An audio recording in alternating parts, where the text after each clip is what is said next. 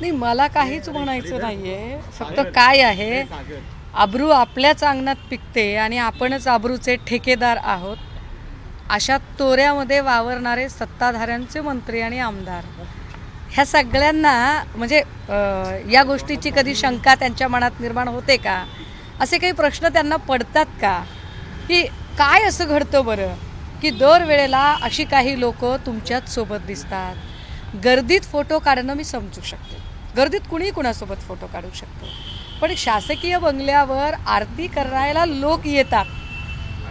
याचा अर्थ काय? मग आरतीच करायची असेल. आमचे मनोज जरांगेसारख्या लोकांना जे समाजहितासाठी बिचारे जीव आपला जीव धोक्यात घालतात अशा लोकांच्या हाताने आरती करा. अशा लोकांना बोलवा. नेमकं काय गौड बंगाल आहे? आम्हाला काही कळत नाही. मला वाटतं त्यांच्या शाउटिंग ब्रिगेडचे लोक त्याच्यावर कारण त्यांनी शाउटिंग ब्रिगेड फार मोठी तयार केली आहे ते ते बोलतील कदाचित. नितेश राणे यांनी टीका केलेली आहे. उद्धव ठाकरे आणि त्यांचं कुटुंबीय हे महाराष्ट्राबाहेर गेलेलं आहे डेहराडूनला गेले एकीकडे आंदोलन सुरू होतं मराठा समाजाचं उपोषण सुरू होतं. त्यावेळेस फडणवीस हे मध्य प्रदेशात गेले त्यावेळेस तुम्ही त्यांच्यावरती टीका केलेली होती. पण आता स्वतः ठाकरे कुटुंबीयच अशा परिस्थितीमध्ये बाहेर गेलेलं आहे खरं तर नितेश राणेवर मला अजिबात कधीही बोलायला आवडत नाही. आणि अशा शाउटिंग ब्रिगेडमधल्या किंवा बार्किंग ब्रिगेडमधल्या लोकांवरती मी अजिबात व्यक्त होत नाही. पण तरीसुद्धा कधी कधी फार अल्पबुद्धी लोक असतील तर समजावलं पाहिजे शिक्षिका म्हणून. तर त्यांना सांगितलं पाहिजे की फरक काय आहे? देवेंद्र फडणवीस हे राज्याचे उपमुख्यमंत्री आहेत आणि उपमुख्यमंत्री आणि गृहमंत्री म्हणून राज्य जळत असताना त्यांनी राज्यात राहणं गरजेचंच होतं. पण अशा वेळेला राज्यातली गरज सोडून ते भाजपच्या प्रचारासाठी गेले होते. आणि राहिला प्रश्न उद्धव साहेबांचा तर उद्धव साहेब सध्या सत्तेच्या कुठल्याही पदावर नाहीत. दुसरी महत्त्वाची गोष्ट उपोषण संपलेलं आहे. तिसरी महत्त्वाची गोष्ट शाउटिंग ब्रिगेडमधल्या या अतिउत्साही कार्यकर्त्याला हे माहीत नाही आहे कदाचित की तुम्ही ज्या सर्वपक्षीय लोकांची बैठक बोलावलेली होती त्या बैठकीमध्ये उद्धव साहेबांना निमंत्रणच दिलं नव्हतं. तर अपेक्षा कशी करता की त्यांनी तिकडे असलं पाहिजे? मला वाटतं की जरा या सगळ्या गोष्टींची त्या लोकांनी माहिती घेतली पाहिजे आणि माहिती घेऊन बोललं पाहिजे. पण असो नितेश राणे आणि अभ्यास असं काही आपण अपेक्षा करू वायकर. वायकरांच्या मागे पुन्हा एकदा ईडीचा ससेमिरा लागला ठाकरे गटाचे नेते टार्गेट केले जातात असं वाटतंय. हे ठाकरे गटाचे सगळेच नेते टार्गेट केले जातात आणि त्यांना कच्छपी लावण्याचा गळाला लावण्याचा प्रयत्न होतो. काही लोक कंटाळतात वैतागतात आणि मग तिकडे जायचा प्रयत्न करतात. मग तिकडे गेल्यानंतरची त्यांचे स्टेटमेंट आपण अनेकदा बघितलेले आहेत की कशा पद्धतीने हर्षवर्धन पाटील म्हणाले की आता शांत झोप येते. किंवा अगदीच आत्ता काही दिवसांपूर्वी हसन मुश्रीफजी म्हणाले की आता कसलीही चौकशी नाही आहे आता शांत आहोत. म्हणजे त्यांच्यासोबत गेल्यावर चौकशा होत नाहीत परंतु काही असे निष्ठावंत असतात जे कुठल्याच कारवाईला चौकशीला तक्रारीला कशालाच घाबरत नाहीत.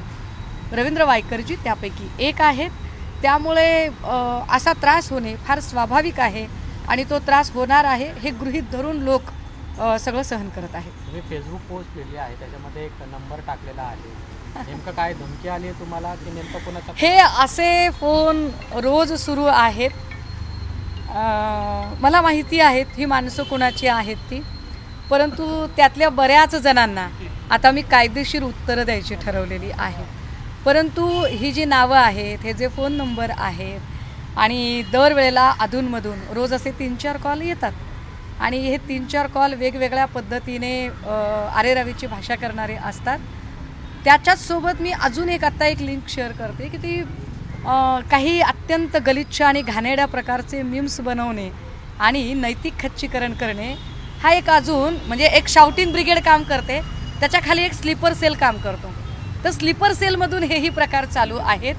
पण मला कल्पना आहे की त्यावर कुठल्याही पोलीस स्टेशनमध्ये तक्रार घेतली जाणार नाही. कारण पप्पी प्रकरणाचा व्हिडिओ जाहीर झाल्यानंतर त्यावरच्या तक्रारी मात्र फार तातडीनं दाखल करून घेतल्या गेल्या आणि गरज नसताना आणि संबंध नसताना अनेक सोशल मीडियावरच्या ॲक्टिव्ह पोरांना उचलण्याचं काम केलं. परंतु आम्ही लिंक जरी दिल्या आणि पुरावे जरी सादर केले तरी महाराष्ट्रातलं कुठलंही पोलीस स्टेशन गुन्हा दाखल करून घेणार नाही. त्यामुळे याच्याही संबंधी असणारी जी लढाई आहे ती फार रीतसर मी वेगळ्या पद्धतीने लढेल कशा पद्धतीच्या धमक्या येतात तुम्हाला? आणखी ललित पाटील प्रकरणाचा नुकताच आपण ते आता हे बघा ना टायमिंग किती बरोबर आहे की मी एल्विसची पोस्ट टाकते आणि एल्विसची पोस्ट टाकल्याबरोबर लगेच दोन कॉल येतात वेगवेगळ्या प्रकारचे. तर त्यांना असं वाटतं की म्हणजे मध्ये आता माझ्या भावाचा ॲक्सिडेंट झाला म्हणून मी जरा त्याच्या कामामध्ये व्यस्त होते. तर बऱ्याच जणांना असं वाटलं की अरेच्या आता संपलाय वाटतं विषय. आता बोलणार नाही आहेत त्या. नाही. मी ड्रगच्या विषयावर बोलत राहणार आहे. मी असं म्हटलं की महाराष्ट्रभर मी बोलत राहणार आहे. राहिला प्रश्न माझा आवाज बंद करण्यासाठी माझ्यावर खोटे गुन्हे दाखल करण्याचा. तर महाराष्ट्रातल्या कुठल्याही सत्ताधारी मंत्री आमदार खासदार शाउटिंग शाउटिंग ब्रिगेडचे काय म्हणतात त्याला का अतिउत्साही कार्यकर्ते किंवा स्लीपर स्लेलमधली लोक. आणि त्यांच्याशी संबंध असणारा कोणताही अधिकारी पोलीस स्टेशन तुम्ही सांगायचं गाव तुम्ही सांगायचं स्वतः अटक होऊन घ्यायला मी यायला तयार आहे.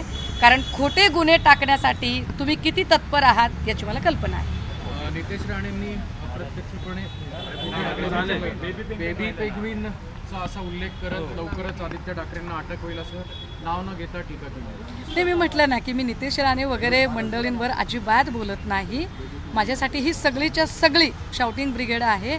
पण एक नक्की की अशा पद्धतीने जेव्हा भाजपाचे अतिउत्साही लोक बोलतात तेव्हा एका अर्थाने ते भाजपच्याच अत्यंत हिटलरी कार्यप्रवृत्तीचा पर्दाफाश करत असतात की तुम्हाला आधी कशा कळतात?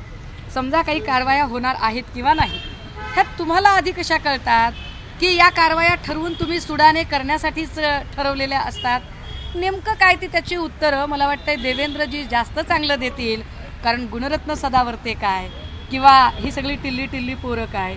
ही सगळीच देवेंद्रजींसाठी काम करतात.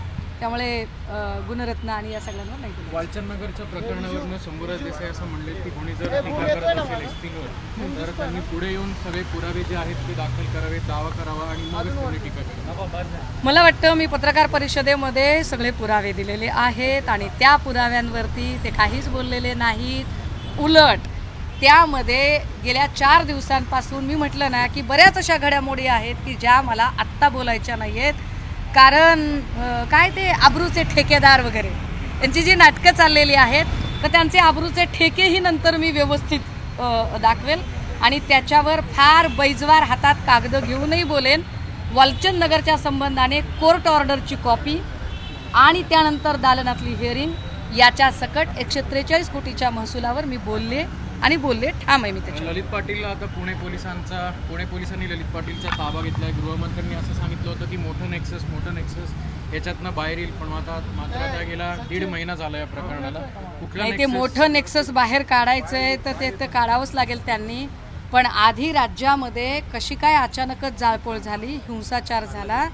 तुम्ही मराठा आंदोलक म्हणत होतात पण त्याच्यामध्ये गैरमराठे असणाऱ्या सुद्धा लोकांची संख्या मोठी आहे. तर हे पूर्वनियोजित षडयंत्र होते का? ठरवून आंदोलनाला गालबोट लावणे आणि ते आंदोलन दडपून काढणे यासाठी ठरवलेली व्यूहनीती होती का? यावर आधी देवेंद्रजींनी उत्तरं द्यावी ती जास्त गरजेची आहे. अं, जरांगेंनी अल्टिमेटम दिला सरकारने नवीन तारीख दिली. या सरकार जे आहे ते जरांगेंना नक्की समाधानकारक आरक्षण देईल असं वाटतं का डेडलाईन घेऊन श्री मनोज जरांगे यांच्याबद्दल आणि त्यांच्या कार्याप्रती प्रचंड आदर आहे. परंतु काल जे काही घडलं ते पाहता निश्चितपणे मला वाईट वाटतं. कारण मागणी होती मराठा आरक्षणाची मागणी होती आंदोलकांवरील गुन्हे मागे घेण्याची. पण काल असा कुठलाही ठोस शब्द दिला गेला नाही. ज्या ज्या आंदोलकांवर तीनशे सात सारखे गंभीर गुन्हे दाखल झालेले आहेत यातल्या कुठल्याही आंदोलकांवरचा गुन्हा मागे घेतलेला नाही आहे म्हणजे ती मागणी पूर्ण झालीच नाही. आणि राहिला प्रश्न दोन जानेवारीची तारीख देण्याचा.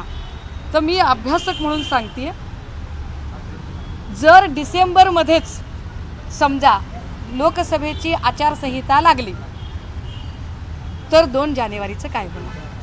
म्हणजे आचारसंहिता लागेपर्यंत हा वेळ काढूपणाचा प्रयत्न भाजपा आणि सत्ताधाऱ्यांकडून होत आहे हे स्पष्ट आहे.